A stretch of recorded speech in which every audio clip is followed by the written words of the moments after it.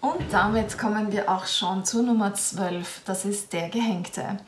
Der Schein um seinen Kopf herum sagt, ich bin erleuchtet, und zwar, weil er die Perspektive gewechselt hat.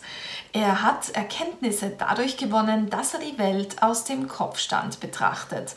Unerwartete Einsichten können zu jener Person kommen, die diese Karte zieht. Sie lässt sich fallen im Vertrauen darauf, dass sie dort ist, wo sie gerade sein soll.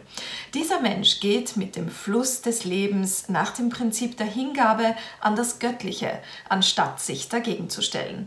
Manchmal bedeutet die Karte aber auch Verzögerungsprozesse, denn Wachstumsprozesse in der Natur sind meistens langsam, doch wir Menschen wünschen uns alles jetzt sofort und möglichst schnell.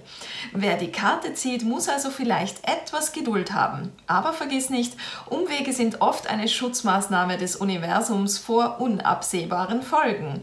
Stattdessen lenkt das Schicksal dich, wie die BIM auf den Gleisen, nach einer weichen Umstellung auf neue Wege, die besser für dich geeignet sind.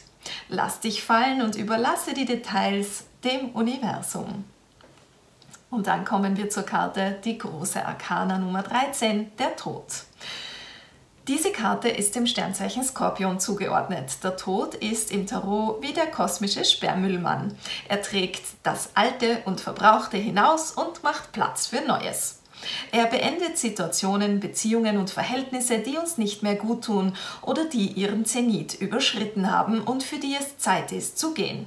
Er kann also sehr hilfreich sein, wenn man etwa auch einen toxischen aus einem toxischen Arbeitsverhältnis ausbrechen will, sich das Rauchen abgewöhnen will oder eine Beziehung, die von Untreue zerrüttet wurde, beenden will.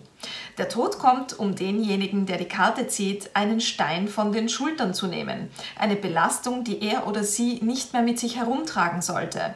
Der Tod ermöglicht damit eine Transformation im großen Stil. Er ist gesichtslos, denn er ist nur eine Tür in eine andere Welt oder in ein besseres Leben. In der IT würde man sagen, der Tod leert den Cache und löscht alle Cookies aus dem Browser, damit die Rechenleistung wieder schneller läuft. Oder er setzt die Festplatte deines Lebens komplett einfach neu auf. Natürlich ist es nicht immer einfach, sich von Personen oder Dingen zu verabschieden. Manchmal gehört ein Trauerprozess beim Abschied mit dazu. Aber sobald die Transformation abgeschlossen ist, kann man zurückschauen und sagen, ja, es war richtig, so wie es war. Der Tod führt damit stets zu einer Art Wiedergeburt. Und damit kommen wir zu den nächsten beiden Karten.